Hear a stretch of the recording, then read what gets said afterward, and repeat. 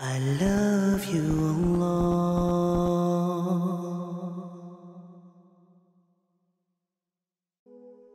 When a famous person dies suddenly, many people's reactions are I'm in shock. It can't be true. I can't believe it. And people, maybe some of us, react this way because we forget about the ultimate purpose of life. We get caught up in the routines and get distracted by everyday life. And we don't have death foremost in our minds. But the reality is that over 150,000 people die per day. And so some people may say, so what if such and such famous person dies? So many other people have died on this day.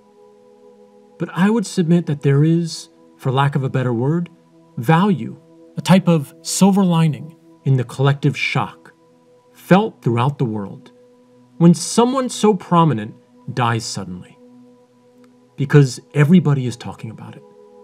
And death during this time becomes less of a taboo topic of discussion.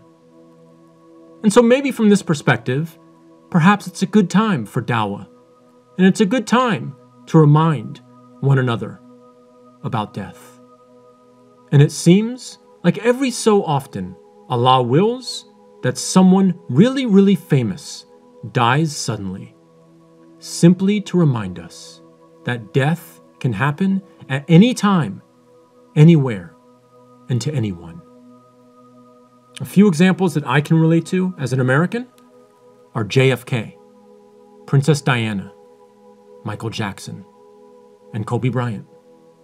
And there's many others. And just because I'm using these people as examples does not necessarily mean I'm holding them in a high esteem.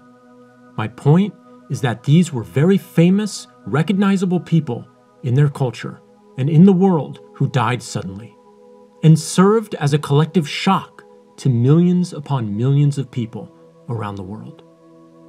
But the message that I want to leave with you today, whether it be the death of a big celebrity, or the death of a loved one, or some tragic event in your life or in society, don't let tragic instances be the only case when you think about death.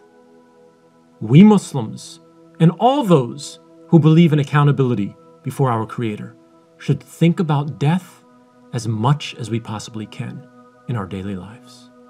And this is not to depress us, but rather it's meant to do two primary things to motivate us to cherish each and every moment we have, and to motivate us to prepare ourselves for that inevitable event, the event of death. And the best way that we can prepare ourselves for death is to be the best Muslims, the best human beings, that we can possibly be. And the famous quote that we always hear from the Quran regarding death is Surah 4, Ayah 78. Wherever you are, death will find you out, even if you are in towers built up strong and high. But the ayah immediately before it is just as important, in my opinion. It says, Short is the enjoyment of this world, the hereafter is the best for those who do right. And a man came to Prophet Muhammad, peace and blessings be upon him, and asked, When is the hour of judgment? And the prophet, peace be upon him, answered, What did you prepare for it? May Allah guide us all to remember that death can happen at any time, and may He guide us to be prepared for it. Amin.